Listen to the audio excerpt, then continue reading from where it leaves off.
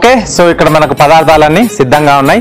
దీని కొరకు మెయిన్గా ఏంటంటే ఒక రెండు గంటల ముందుగా మనం పెసరపప్పు నానబెట్టి పెట్టేసుకుంటే సరిపోతుంది. ఎందుకంటే దీన్ని మనం కొంచెం పేస్ట్లా చేసేసుకొని ఇక్కడ మనం అప్లై చేస్తాం ఓకే సో ఫస్ట్ దీన్ని మనం గ్రైండ్ చేసుకుందాం.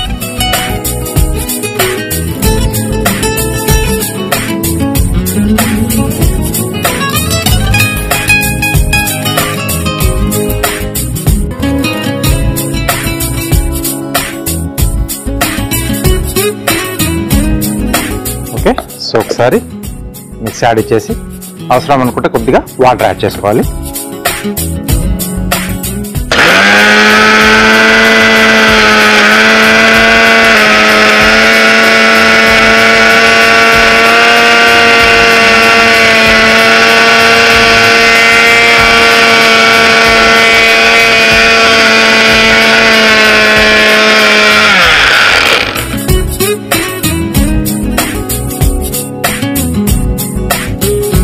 ఓకే.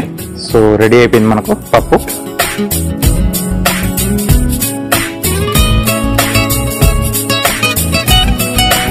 సో దీన్ని మనం ఒక బౌల్లోకి తీసేసుకున్నాం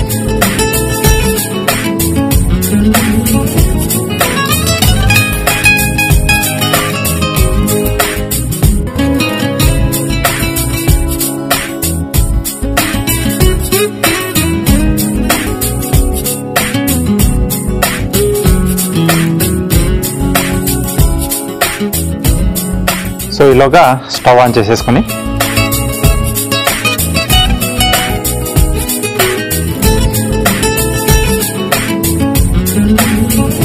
బ్రెడ్ లెస్ ఏంటంటే ఒకసారి మనం కావాలనుకుంటే డైరెక్ట్ గానే వాడుకోవచ్చు. లేకపోతే కొంచెం టోస్ట్ వెన్నతో మనం కొద్దిగా కాల్చుకుంటే కొంచెం టేస్ట్ అనేది కొంచెం పెరుగుతుంది.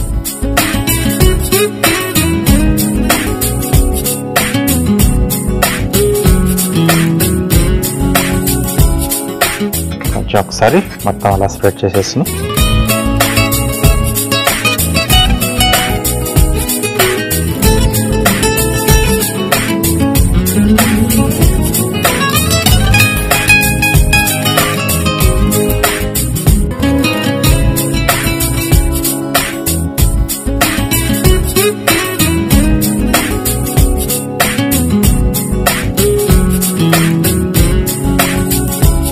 thank you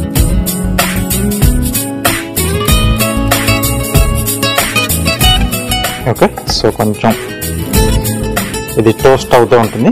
ఇలాగా మనం మిగతా పని చేసేసుకున్నాం సో ఏదైతే మనం ఇప్పుడు పప్పు మిక్సీ పట్టేసుకున్నాం కదా దీంట్లో కొద్దిగా ఉప్పు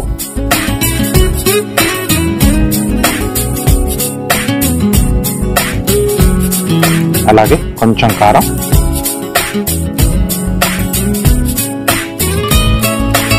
కొద్దిగా పసుపు.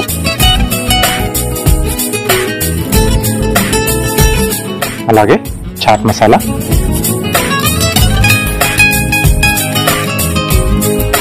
సో మనకు నచ్చిన వెజిటబుల్స్ దీంట్లో మనం యాడ్ చేసుకోవచ్చు. కొంచెం కొత్తిమీర వేస్తున్నాను.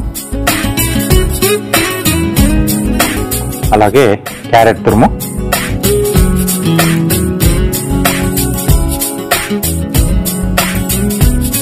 అలాగే కొంచెం సన్నగా తరిగిన ఉల్లిపాయ ముక్కలు.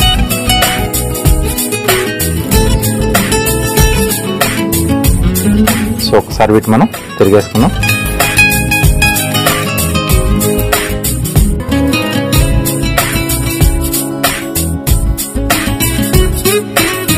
సో ఇదంతా ఒకసారి బాగా కలిపేసుకోవాలి.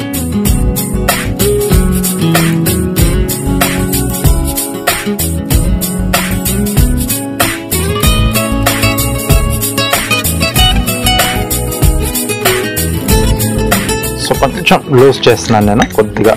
మనకు వాటరీగా ఉండాలి.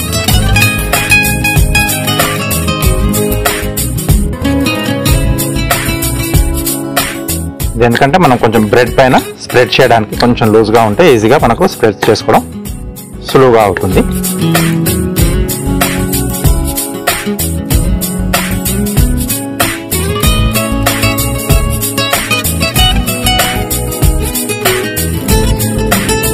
ఓకే.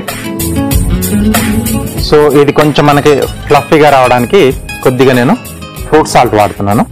సో ఇది కంపల్సరీ ఏం కాదు. కావాలి కొంచెం ఫ్లఫీగా కావాలనుకుంటే యాడ్ చేసుకోవచ్చు. కొద్ది కొద్దిగా మనం అంటే వాయికి వేసుకునేంత అప్పటికప్పుడు కొంచెం కొంచెం కలుపుకోవాలి.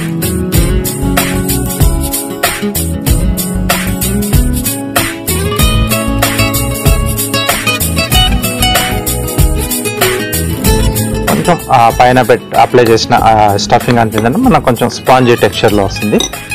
రైట్ సో ఒక్కొక్క దాన్ని.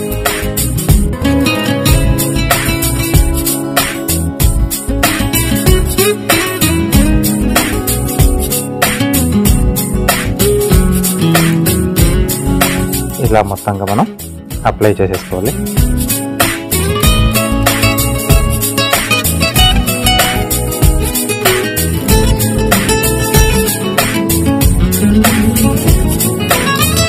ఇప్పుడు దీన్ని మనం టర్న్ చేసుకుందాం.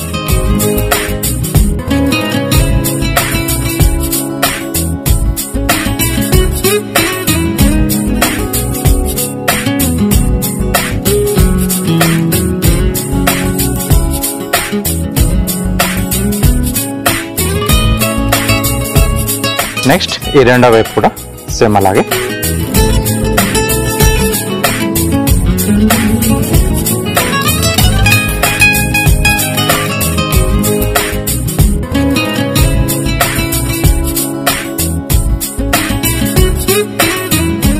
కింద వేగుతూ ఉంటే మంచి స్మెల్ వస్తుంది.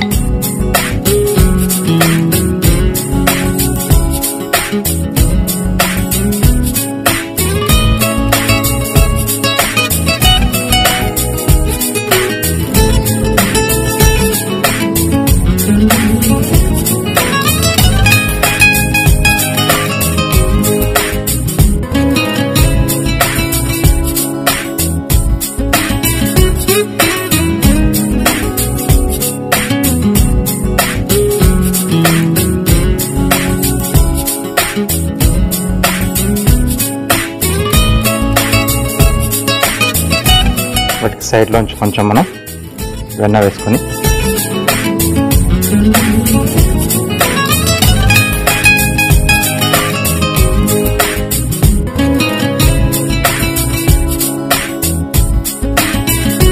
వెన్నతో కాల్చుకుని మనకు టేస్ట్ అనేది కొంచెం బాగా వస్తుంది.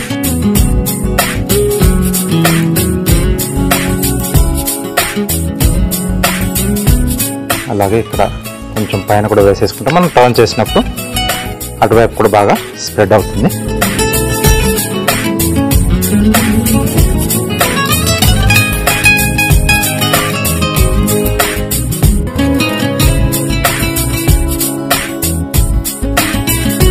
ఓకే సో ఇలా వెన్నతో మనం రెండు వైపులా కాల్చుకుంటే మనకు టోస్ట్ అనేది రెడీ అయిపోతుంది. ఓకే సో మన టోస్ట్ రెడీ అయిపోయాయి. Moong dal bread toast so వీటి మనం ప్లేట్లోకి తీసేసుకున్నాం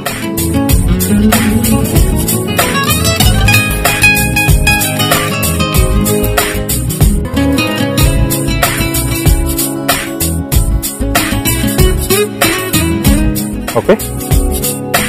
సో చూడండి మంచిగా ఇలా ఫ్లఫీగా అయిపోతుంది ఇది. అంటే దాంట్లో మనం ఫ్రూట్ సాల్ట్ యాడ్ చేసాం కాబట్టి.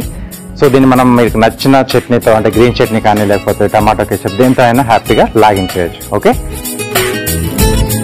వేడివేడిగా moong dal bread toast ready అయిపోయింది. దీనికి కావాల్సిన పదార్థాలు అలాగే దీని తయారీ విధానం మీకోసం మరోసారి. మూంగ్ దాల్ బ్రెడ్ టోస్ట్ తయారు చేసుకోవడానికి కావాల్సిన పదార్థాలు. బ్రెడ్ స్లైస్లు రెండు నానబెట్టిన పెసరపప్పు ఒక కప్పు పసుపు చిటికెడు ఉప్పు తగినంత కారం తగినంత చాట్ మసాలా అర టీ స్పూన్ తురిమిన క్యారెట్ పావు కప్పు ఉల్లిపాయ ముక్కలు పావు కప్పు కొత్తిమీర కొద్దిగా వెన్న రెండు టేబుల్ స్పూన్లు ఫ్రూట్ సాల్ట్ అర teaspoon. Moong dal bread toast తయారు చేసుకునే విధానం. ముందుగా ఒక మిక్సీ జార్లో నానబెట్టిన పెసరపప్పు వేసి మిక్సీ పట్టుకోవాలి. తర్వాత ఒక మిక్సింగ్ బౌల్లోకి తీసుకొని అందులో తగినంత ఉప్పు కారం పసుపు చాట్ మసాలా కొత్తిమీర క్యారెట్ తురుము ఉల్లిపాయ ముక్కలు వేసి కాస్త నీళ్ళు పోసి ఫ్రూట్ సాల్ట్ వేసి కలుపుకోవాలి. ఇప్పుడు స్టవ్ ఆన్ చేసి తవ్వాకి వెన్న రాసి బ్రెడ్ ముక్కల్ని రెండు పక్కల కాల్చుకోవాలి. తర్వాత కలిపి పెట్టుకున్న పెసరపప్పు మిశ్రమాన్ని బ్రెడ్ ముక్కలకి రెండు పక్కల రాసి వెన్నతో రెండు పక్కల కాల్చుకొని సర్వింగ్ ప్లేట్లకు తీసుకొని సర్వ్ చేసుకుంటే moong dal bread toast ready.